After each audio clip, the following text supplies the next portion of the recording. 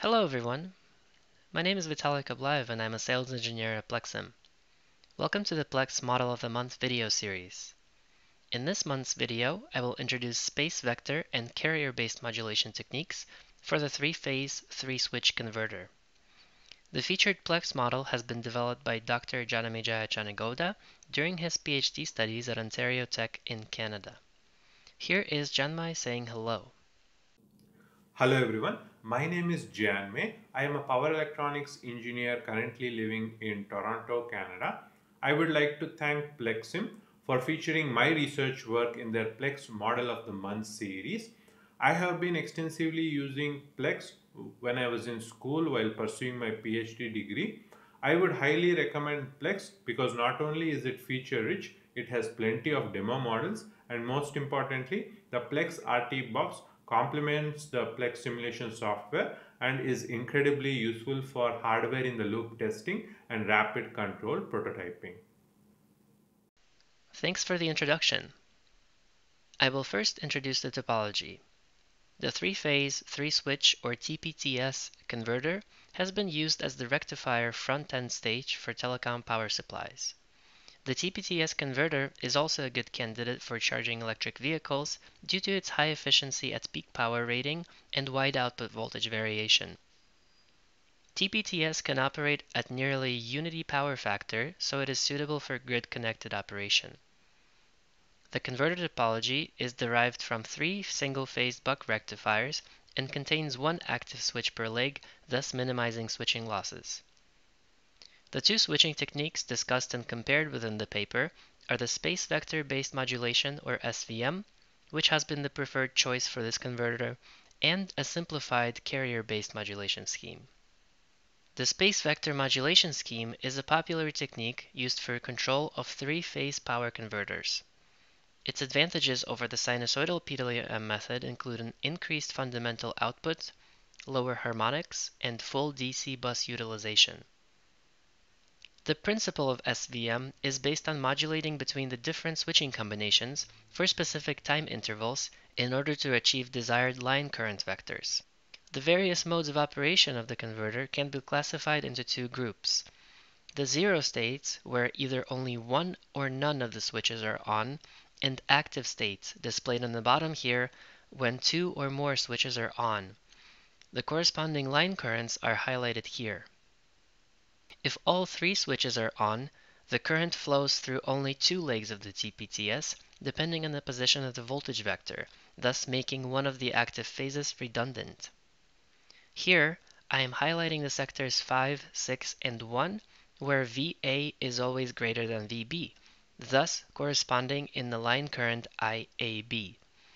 In the sectors 2, 3, and 4 here, it is the reverse scenario. The six line currents may be displayed in a space vector diagram format. Because of the ambiguous 111 state, the generated six sectors may further be divided into equal subsectors.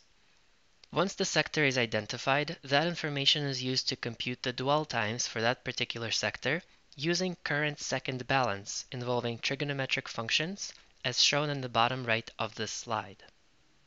Although the space vector-based modulation scheme has always been the popular choice for control of TPTS, its implementation is computationally expensive compared to other approaches. In the proposed simplified carrier-based PWM modulation scheme, a control signal is compared with a high-frequency carrier signal of a triangular waveform, which establishes the switching frequency of the converter.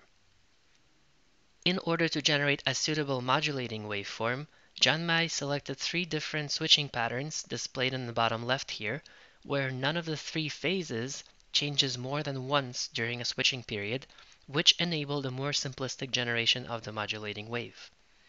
In each one, he placed the redundant active state in the center of the symmetric switching pattern and the other active state next to it. He then performed an analysis of these patterns, derived generalized on-time expressions as shown on the bottom right, and implemented them on a TI-28069M Piccolo Launchpad microcontroller.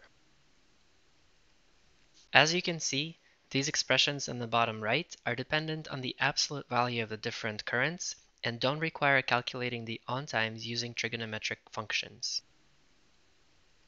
Looking at Jianmai's PLECS model, we see the converter along with a controller subsystem. At the bottom of the model, we generate the three-phase current references, which will be used for controls as we're running this model in open loop.